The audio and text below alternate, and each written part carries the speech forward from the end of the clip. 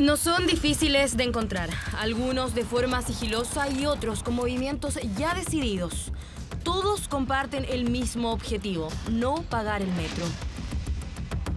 Antes habíamos visto el salto del torniquete, ahora son las puertas de salida, las protagonistas de múltiples evasiones.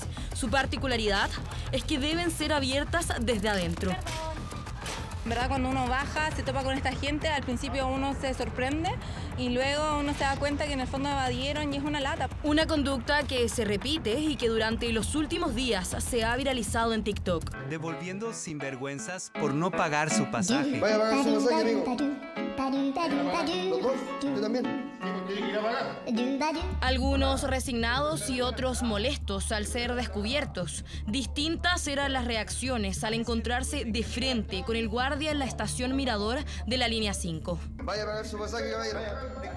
Y es que para variar se molesta porque lo invitamos a pagar su pasaje como corresponde.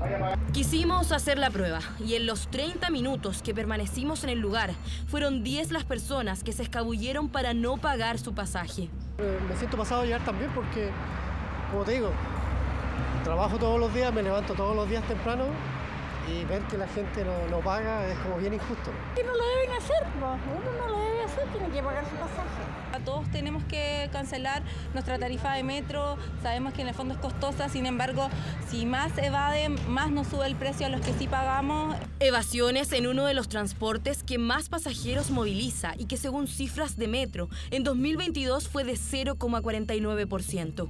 Si bien el video que se ha viralizado no es un video corporativo, da cuenta del trabajo que hemos venido realizando eh, con mucha fuerza desde el año pasado, que tiene puesto el foco en eh, situaciones de comercio ambulante o de evasión, que si bien es una evasión eh, minoritaria, ha venido eh, mostrando indicios de eh, aumento en algunas estaciones. En el caso del video viralizado, las personas no lograron su objetivo y fueron devueltas a pagar. Sin embargo, sería la estructura que poseen algunas estaciones las que facilitarían el no pago del pasaje. Se tienen que disminuir los puntos ciegos en los cuales hayan eh, lugares en que las personas puedan ingresar a la zona de andenes sin pagar su pasaje. Eh, y por cierto, esta reestructuración tiene que venir con la tecnología necesaria. Situaciones como esta, que cada día se hacen más comunes, preocupan a las autoridades. El transporte público capitalino alcanzó la segunda cifra más alta en la historia del sistema, panorama que si bien no ocurre en metro, se busca evitar. Nuestro plan anti-evasión justamente se concentra en estos tres pilares.